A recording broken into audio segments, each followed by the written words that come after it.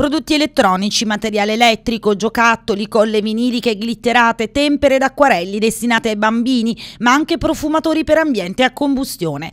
Sono oltre 145.000 i prodotti, la maggior parte dei quali legati al business di Halloween e Natale, sequestrati dagli uomini delle fiamme gialle del gruppo di Messina e della compagnia di Taormina. Erano pronti per essere immessi sul mercato in due esercizi commerciali gestiti da operatori di origine cinese, benché privi dei requisiti di conformità e sicurezza. I prodotti ritirati dal commercio risultavano per la quasi totalità privi del marchio CE, che ne attesta la conformità agli standard di sicurezza e garanzia per i cittadini e delle indicazioni sulle etichette delle informazioni minime previste dal codice del consumo, come quelle relative al produttore o all'importatore comunitario, la presenza di sostanze che possono arrecare danno alla salute o all'ambiente, i materiali impiegati per la realizzazione del prodotto, nonché le istruzioni, anche in lingua italiana, e le eventuali precauzioni d'uso.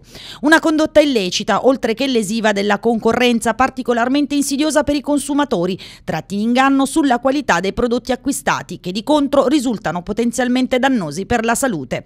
Le fiamme gialle peloritane, quindi, dopo aver rimosso la merce dagli spazi destinati alla vendita, hanno proceduto al sequestro amministrativo di tutti i prodotti, inviando segnalazione alla Camera di Commercio di Messina per l'applicazione delle relative sanzioni.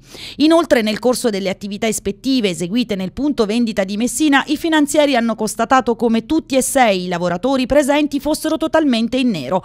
Uno dei dipendenti è risultato persino percettore di reddito di cittadinanza.